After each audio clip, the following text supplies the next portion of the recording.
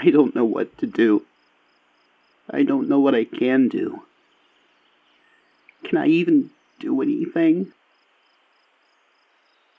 Reed's been out for a week straight at this point. There's nothing from the forest investigation. Beatley's been on my case about wrapping up the story. I feel so.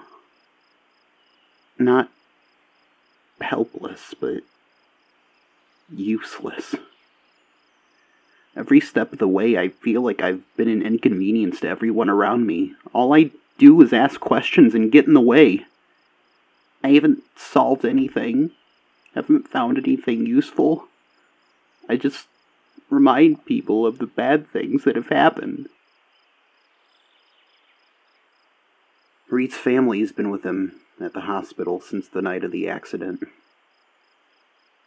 I haven't gone back yet. I feel I feel guilty about it somehow. I could have gotten there sooner. I could have not interviewed him at all.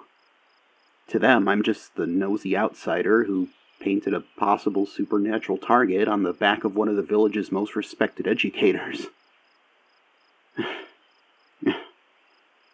Listen to me talk about it as if it wasn't just some freak accident. There's no such thing as the supernatural, Martin. Just terrible people like me that influence other people's lives in bad ways. The sheriff requested a duplicate of that night's tape. I don't know what he expects to find. I haven't listened back, but I'm pretty sure it was all just stress. Right? It had to be. Beatley called my motel room this morning. Sounded more mad than usual. Told me I had two weeks to turn in something substantial, or, or else, well, the staff box will be one name shorter come next month. I don't blame him. He's just doing his job. Unlike me, I probably spent more time chasing down these fairy tales than giving you useful information. I honestly don't know where to go from here. I'm lost. I feel like I'm just spending my days floating through life here. Same routine, bothering the same folks, asking the same questions. I talked to Maria about it a bit. She tried to tell me I wasn't a bother, but I know a white lie when I hear one. All she can see when she talks to me is someone who reminds her of what happened to her son. And she's not mad. No, she pities me. They all do. I'm just the poor reporter who got stuck with a depressing story to them. At least, that's what my brain tells me. I know it's not true. It can't be. But there's just no fighting the feeling. It's like my mind wants me to feel helpless and lost. I don't enjoy this feeling, but it keeps telling me that I have to because it's the truth. I'm I'm sorry, Sophie, for this depressing rambling. I just you're the only one I feel comfortable talking with about this stuff because you're not here to judge me. And even if you were here, I know you still wouldn't.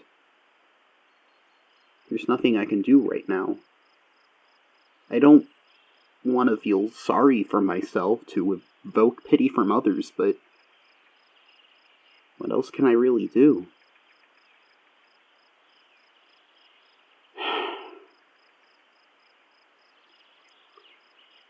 The view of the forest is amazing from up here, especially at this time of the day.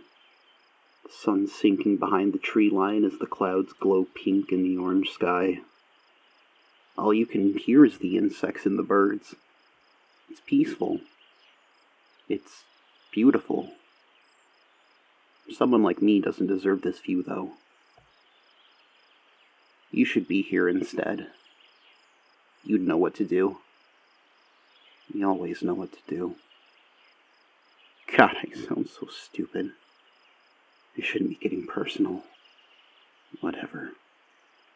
It's not like Beatley's going to listen to these anyway, probably. I'm going to do something. I don't know what or how, but I will. Even if it means losing my dream job to spend more time here. These people need help. And yes, they're getting their help from, you know, federal sources and officials and trained professionals, but damn it, I'm going to help. Somehow. Some way. Sorry. Thanks, Sophie. I'm sorry. For everything. For me. But I'm going to do better. I promise. Not to you or to me, but I promise to these people. Martin Holloway.